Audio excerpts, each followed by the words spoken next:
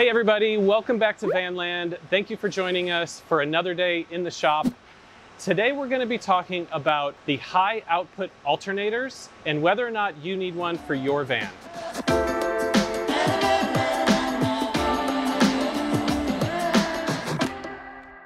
One of the questions we get a lot when we're specifying a power system is whether or not we should add a secondary alternator to the system to give it additional charging power.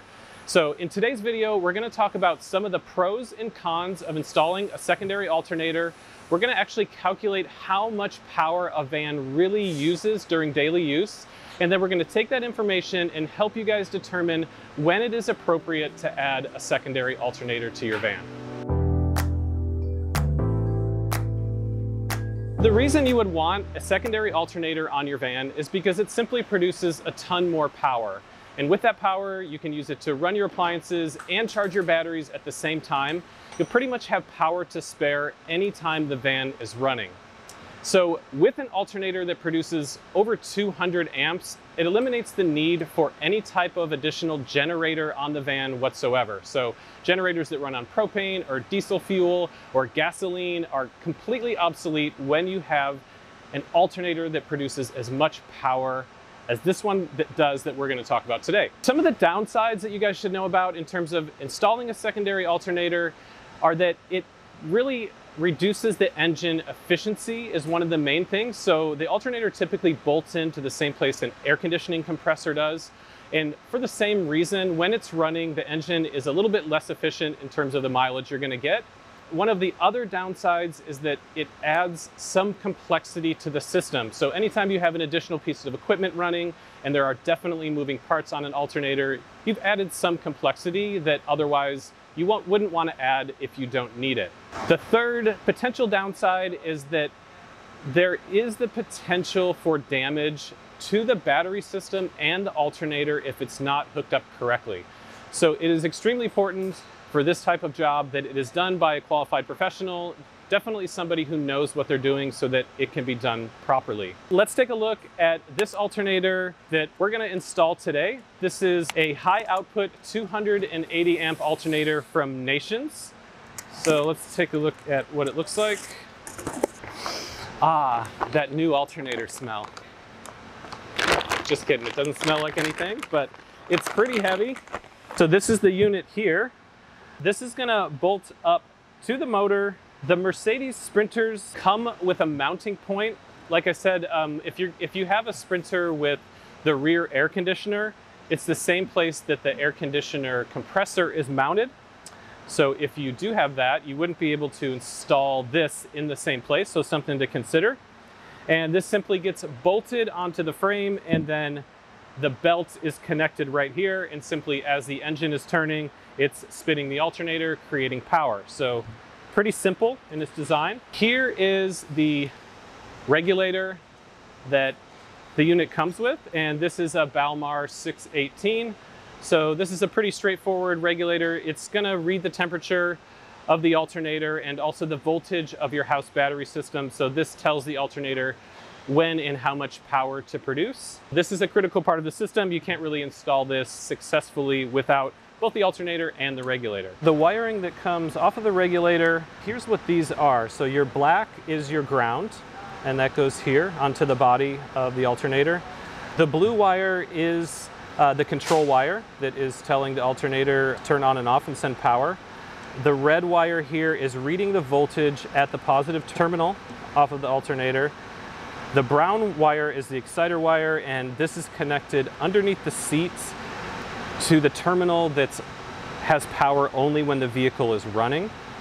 And then this red wire goes back to the batteries, so that is sending the voltage from the batteries up to the regulator so it can read that.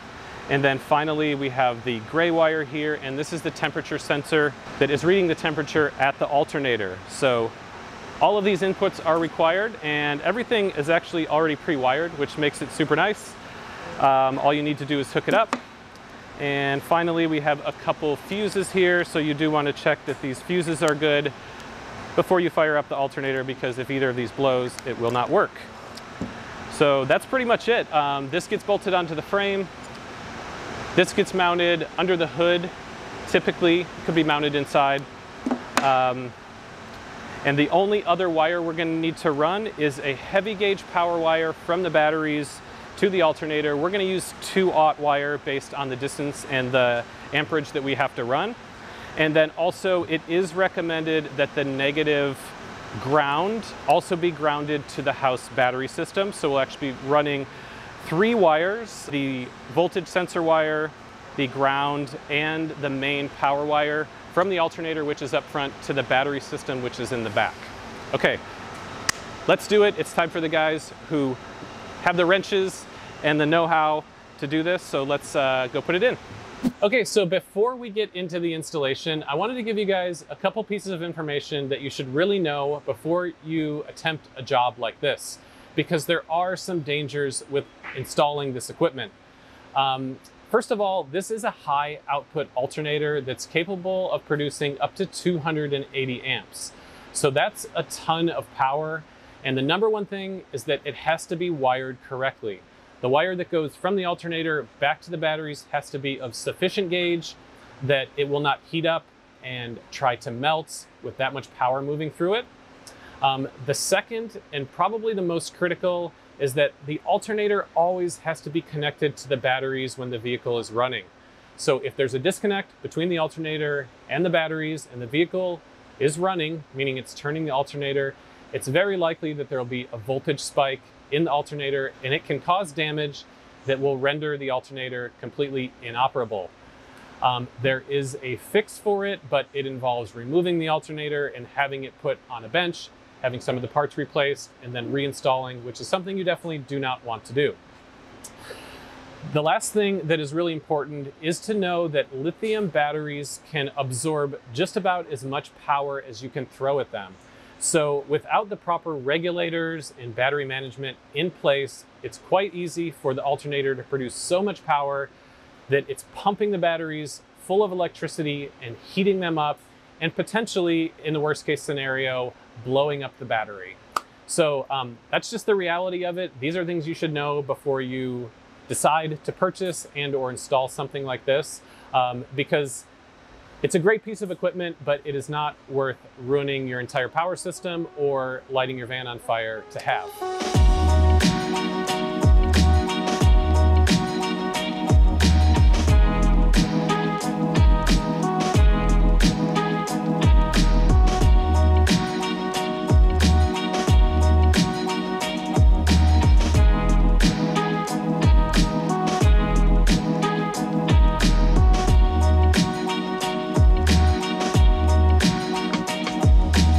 Alternator is installed and the regulator has been hooked up.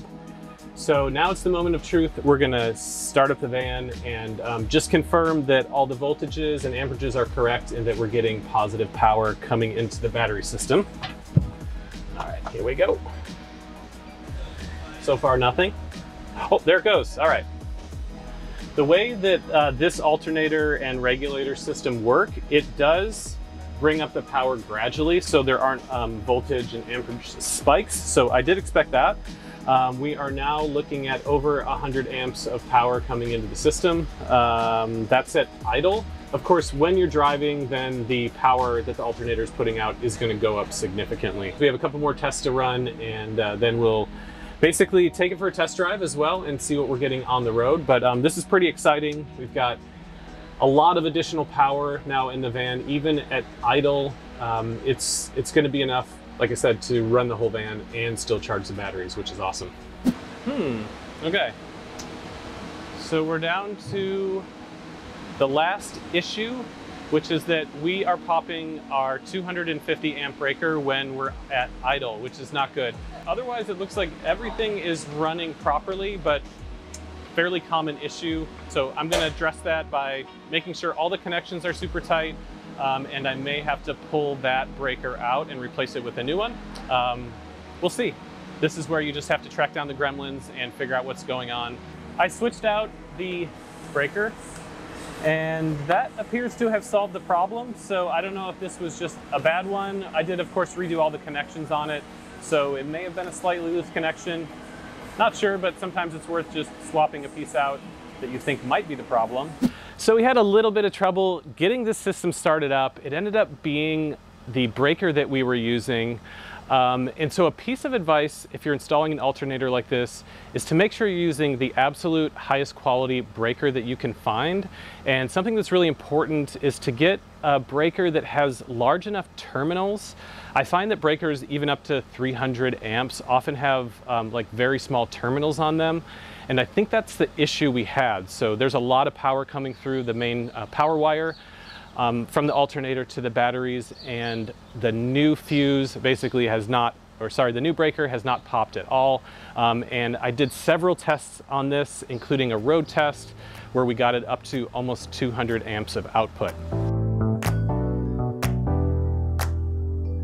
So the first thing that we need to determine is how much power does this van actually use? And the van that we're doing this demo in has pretty much all of the systems that you would have in your van. So we're gonna be able to run through basically a fairly complex van build to see you know, how much power it's using um, with each individual component. And then we're gonna add that all up and determine how much power this van needs for an entire day. Okay, so what we've done here is I pulled up my Victron battery monitor on the phone. As we turn on each individual component, we're gonna be able to read how many amps it's drawing. So as of right now, we're sitting at negative four amps. Um, and that's just because we have some lighting on in here.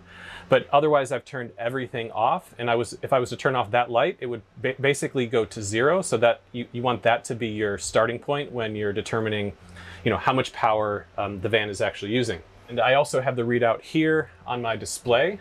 Let's start with just the fan because it's pretty hot in here today. I want to get the fan started up. And I'm going to turn it all the way up to the highest speed. Okay, so we're at negative seven amps or so. So the fan at full speed is drawing three amps because we were at negative four, we've gone to negative seven. So that's how much the fan uses. Uh, we're gonna turn on some lights here. So we have a light in the bathroom and then we have the lights in the ceiling.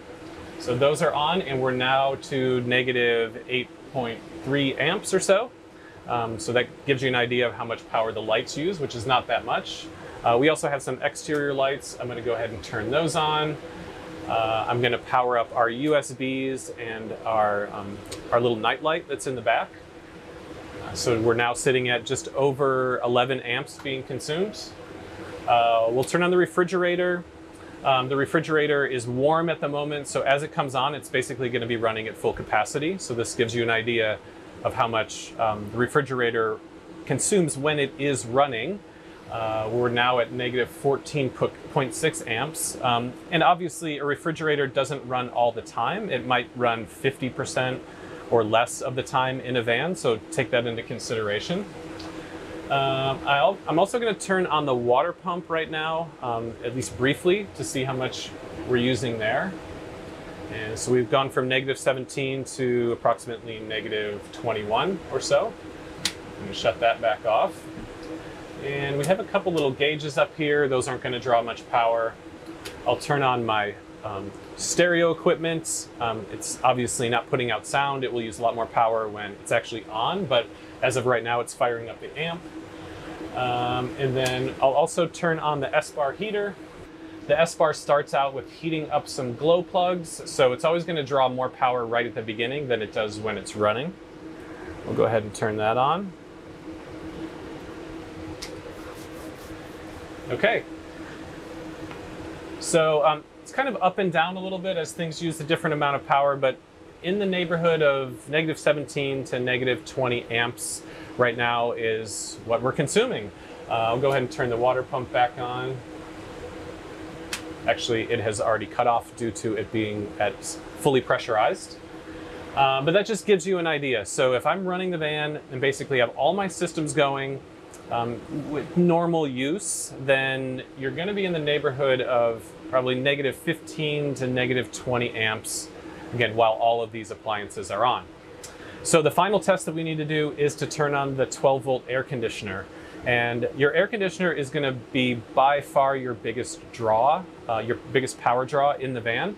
Um, let's actually turn it on. The temperature has been turned all the way down and the fan has been turned all the way up. So this is running at full blast and we are at negative 66 amps or so. With the air conditioner, it doesn't run at the same power draw for all day. Um, it will generally be between 30 and 60 amps that it's drawing. So you can kind of average it out. Um, if you're running it for four hours, let's say, it probably averages in the neighborhood of 45 amps per hour uh, being consumed to run the air conditioner. Obviously, the hotter it is, the more it's going to consume. Um, if you bring the van down to temperature and you're parked in the shade, then it's going to use a lot less power. So there you have it. We have a, a rough idea of how much power that this van consumes with all of its appliances on minus the air conditioner and then all of the appliances on plus the air conditioner. And as you guys can see, there's a huge difference. Um, the air conditioner is going to be the largest draw in the power system. And we need to take that into account when we're determining whether or not something like a secondary alternator is going to be needed for a van like this. The way a mobile power system works is that it starts with the battery storage, and then you have power coming into those batteries or recharging them, and then you have power going out of those batteries or being consumed. So when you're trying to determine, you know, how much battery capacity do you need, how much solar charging do you need, and how much is everything going to require, um, you just need to take into consideration power in and power out. So the first thing we want to talk about is how does power get into the batteries? And for a van like this, there are typically three ways um, that it will be powered up. The first is obviously with solar, and that's usually everyone's favorite way to power a van is to put solar panels on the roof. The thing with solar is that it gives you limited power and it only works for part of the day. The second way that a van can be powered up is shore power, charging it via an outlet that's at your house or at a campsite. And we do recommend adding shore power to every van because it's one of the fastest and most reliable ways to charge up a van.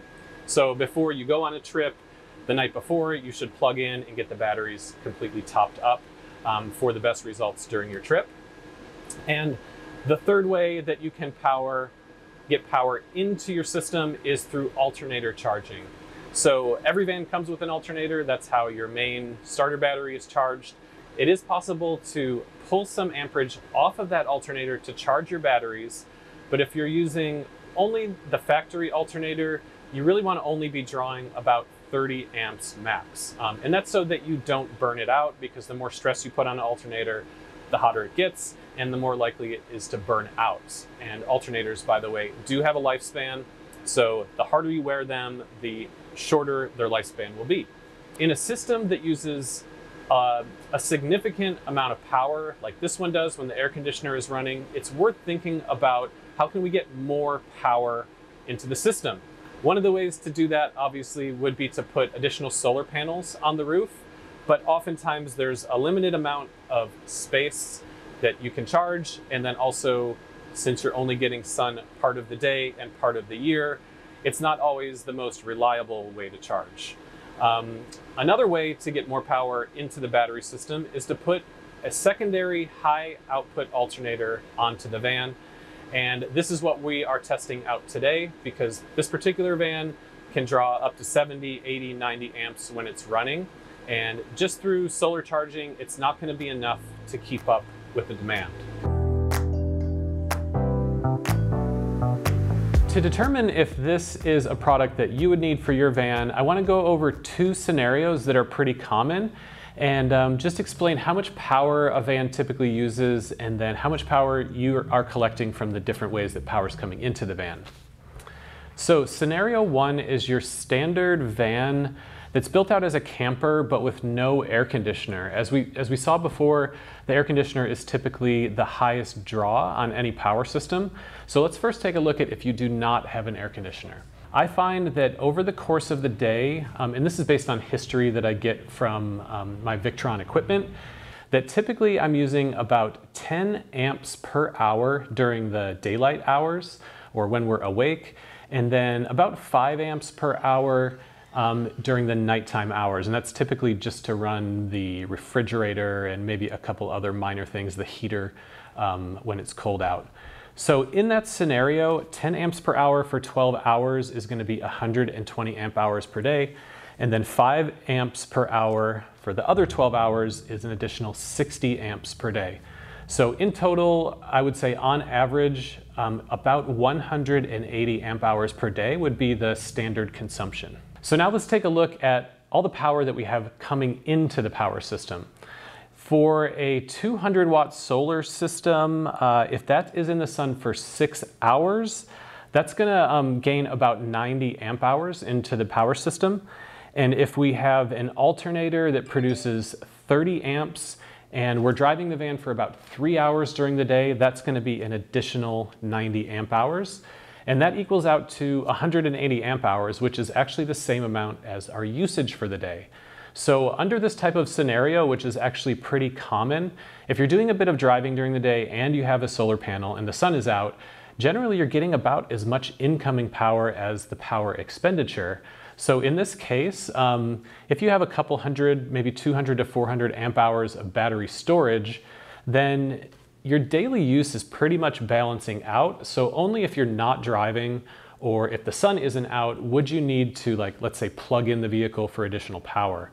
Um, so in this scenario, I would say that the average van that does not have an air conditioner and has basic usage might not need a high output alternator um, and still be able to go for you know, a full week under normal conditions without having to, to stop and recharge at shore power or something like that. Let's look at the second scenario, and this would be for a van that not only has an air conditioner, but needs to use it every day. Standard usage is gonna be 180, but if we add on an air conditioner, uh, let me check my notes here. Let's say we're doing 50 amps for six hours. That's an additional 300 amp hours on top of the 180.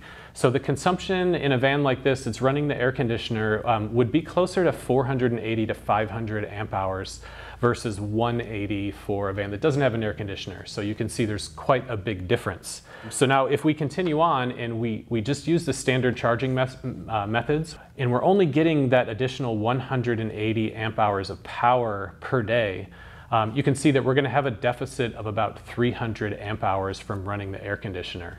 In a scenario where you're running a power deficit, this is really where it makes sense to add the high output alternator.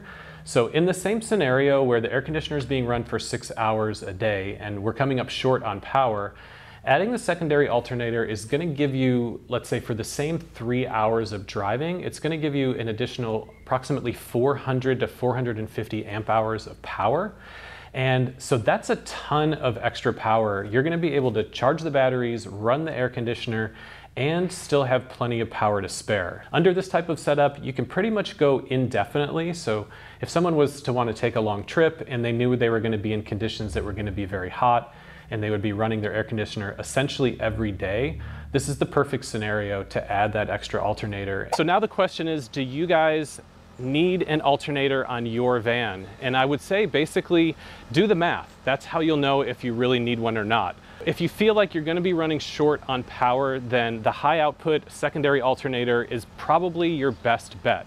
Um, it's super reliable, it charges the batteries extremely fast, and once you get it installed correctly, it's like having a power plant on your van, which is really awesome. Basically, you have unlimited power, or at least that's what it feels like when you install something like this. So um, hope you guys enjoyed the video. Thanks so much for watching and we will see you next time.